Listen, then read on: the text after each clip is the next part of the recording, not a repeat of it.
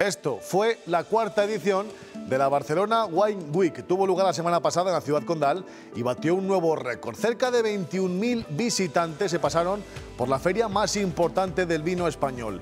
Incluso hubo restricciones de aforo y muchas personas no pudieron llegar a entrar. Y claro, en una cita tan relevante como esta no podía faltar Castilla y León. En concreto, 35 bodegas de la comunidad representando las denominaciones de origen del Bierzo, León, Ribera del Duero, Rueda, Toro, Tierra del Vino de Zamora y Cigales. Muy buenas. Y allí también estuvo presente la denominación de origen protegida Sierra de Salamanca. En unos segundos vamos a charlar con Vinos La Zorra, una bodega que no perdió la oportunidad de acercarse a Barcelona y dar a conocer su producto. Pero ahora es buen momento de conocer las noticias más importantes que nos deja el sector agroalimentario para empezar la semana bien informados. Y ojo, hay noticias importantes sobre el cochinillo. El diario oficial de la Unión Europea ha publicado recientemente la solicitud de registro del nombre Cochinillo de Segovia como indicación geográfica protegida, lo que también se conoce como IGP. Esto significa que este producto se encuentra un paso más cerca de obtener el reconocimiento como figura de calidad de la tierra, amparada en un ámbito europeo. Actualmente son 37 explotaciones las dedicadas a la cría de cochinillo de Segovia. Entre todas, alcanzan una producción anual que supera los 150.000 cochinillos, con un valor económico cercano a los 6 millones de euros. Con este reconocimiento, el producto podrá incorporar este distintivo en su etiquetado, ofreciendo al consumidor una mayor garantía de calidad y origen del producto, algo que ya hace, por ejemplo, la IGP Lechazo de Castilla y León. Lo que ven en imagen es el Congreso Internacional Cocinando con Trufa, que tuvo lugar este sábado en Soria, un concurso de cocina que coronó a Rubén Arnanz por delante de los representantes de México y Nueva Zelanda. A la participación de cocineros de hasta ocho países, el Congreso también contó con las áreas turística, científica y económica de un hongo que ha situado a Soria en el epicentro de la gastronomía mundial. Nos vamos directos hasta Mogarraz, en Salamanca, uno de los pueblos más bonitos que hay en España. Y sí, también la capital de la denominación de origen protegida Sierra de Salamanca. Allí surge el nombre de Vinos La Zorra, una pequeña bodega con una marca que está llegando cada vez a más rincones y que, por supuesto, estuvo en la Barcelona Wine Week la semana pasada. Ya nos ve y nos escucha su gerente, Agustín Maillo. ¿Qué tal la experiencia en Barcelona, Agustín? Muy buenas.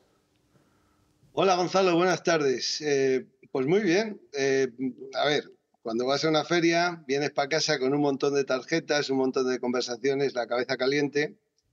Y ahora es cuando hay que, bueno, retomar todos esos contactos y ver si aquello que empezó, pues continúa y, se, y llega a buen puerto, ¿no? Y salen eh, palés por la puerta de la bodega. Pero en este tipo de ferias, Agustín, hay que estar presente, ¿no? Hombre, yo creo que sí, yo creo que sí. Hay que estar, hay que estar cuando no vienen a tu casa tienes que ir tú a las otras, ¿no? Hay bodegas que, que todos conocemos los nombres y que allí no estaban. Quizás no les hace falta.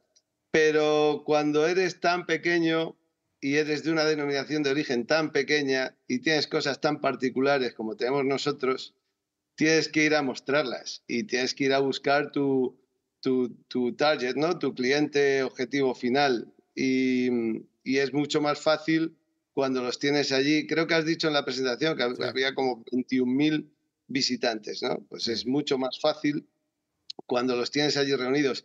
También te digo que mm, si no haces una labor previa a la, feria de contactos para citar a gente que mm, crees que te puede interesar y que a ellos le puede interesar lo que tú haces, y encontrarte allí con ellos, pues vas a una feria a ver pasar gente, porque sí, bueno, algunos se para, eh, además se dio la circunstancia de que el día antes eh, hubo una canción que es La Zorra de, de que, que, se clasificó para, bueno, pues para, para, representar a España en Eurovisión y esto hizo que, eh, bueno, pues tuviéramos allí más, más afluencia de gente curiosa que al final es más esto, una anécdota que gente que finalmente pueda comprar tu vino.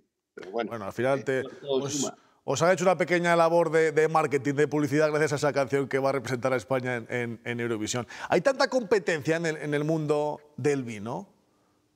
No, hay más. Hay más, hay más todavía de lo que te imaginas. No, tienes que pensar que se hace vino eh, en, muchísimos sitios, cada vez en más. Hay sitios insospechados que jamás se hizo vino y que ahora mismo se está haciendo. Eh, competimos también con los vinos del Nuevo Mundo, o sea, el Nuevo Mundo, hablamos de, Chile, Argentina, eh, Australia, mm, Sudáfrica, que van a, precios eh, sensiblemente por debajo que los de aquí, que los europeos. Sí.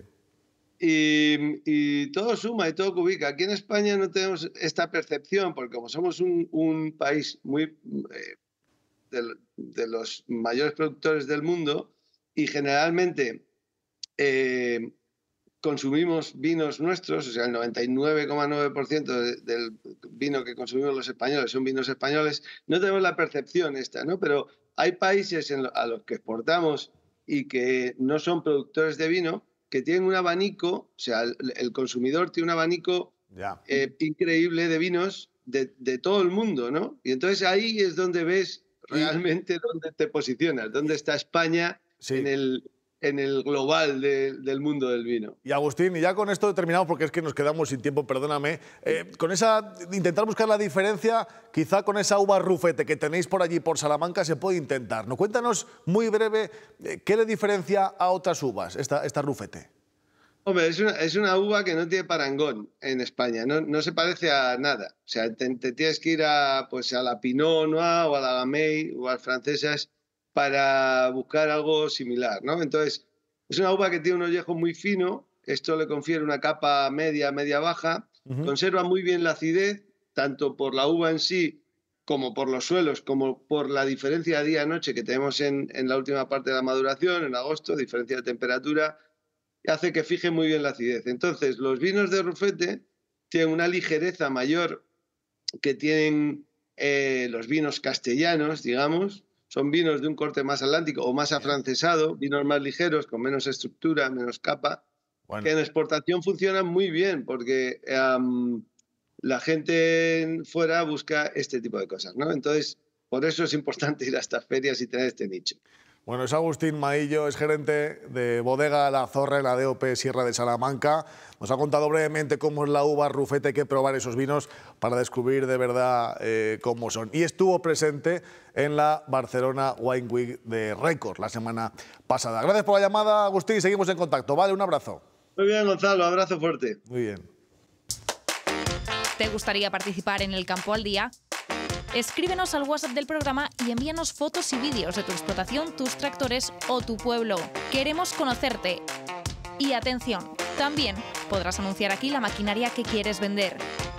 Escríbenos ya al 689 58 84 54. Nos tenemos que ir ya que se nos echa el tiempo encima, pero antes debemos ver todo lo que nos llega al WhatsApp del programa. Y hoy protagonismo de los árboles. Ahí los veis en la foto que nos envió Carmen desde Carrión de los Condes, en la provincia de Palencia, casi casi a punto de caerse. O estos que fotografió Paula en Villalba de Guardo, también en Palencia. Estos con el atardecer detrás, a lo lejos. Una foto muy chula, por cierto. Y más árboles, no lo decíamos de broma. Este lo capturó Sonia en Acisa de las Arrimadas, en la provincia de León. Una fotografía muy misteriosa. Ojo, ahí tenéis las gallinas de Tere, en Villabrágima, en Valladolid. Se han subido al árbol a descansar un ratito.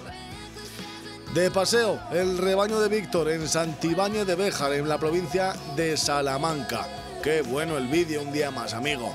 Nos vamos así por hoy. Gracias a todos por las fotos, los vídeos y por vernos cada día. Nos volvemos a ver mañana, a la misma hora. Así que ya lo saben. Disfruten del día. Adiós.